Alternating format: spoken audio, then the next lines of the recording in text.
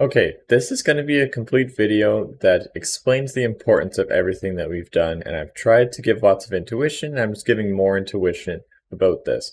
This expands much more than multiple or simple linear regression, okay? People don't teach so much effort into regression for the sake of being a god at regression, okay? That's really not the reason.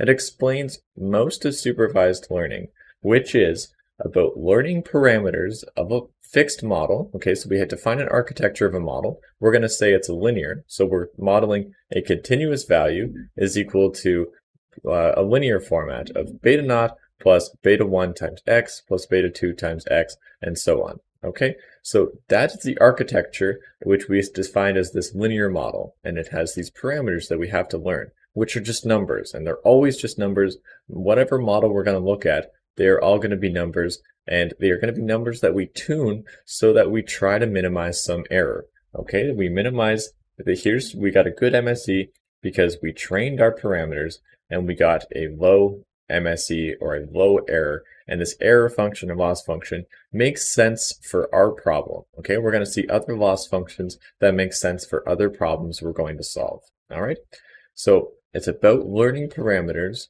and we do that by minimizing the error function, and we use calculus to do that by looking at the derivatives of the slopes or of the parameters. Okay, so we look at the derivatives of the loss function for the parameters and we try to set that to zero to minimize the loss.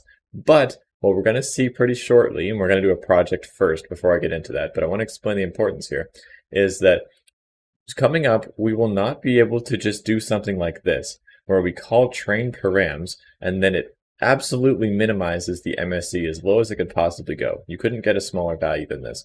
And the reason for that is because of the problem of linear regression. It is simple. And so it's, you can kind of picture a bowl shape of the MSE and we didn't get to the very bottom of it. But coming up, we won't be able to do that. We're going to get some weirder functions and more complicated models such that you can't just find the absolute minimum of it. If we could, we absolutely would, and unless it took in like an infinite amount of time, which is also not a good solution.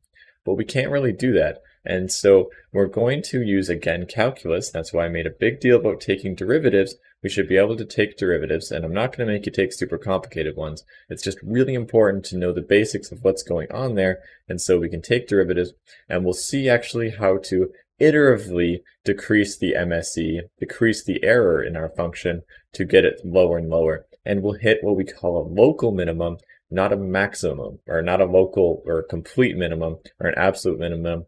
We settle on some decent error instead of finding the absolute minimum one, because that's basically impossible. Okay, and we'll see how to do that. It's called gradient descent. We'll see that soon, but first we are going to make a project in linear regression. Since we did all of this stuff, it's probably good to actually get some good hands-on practice here. So I will see you in that video when we make a nice project.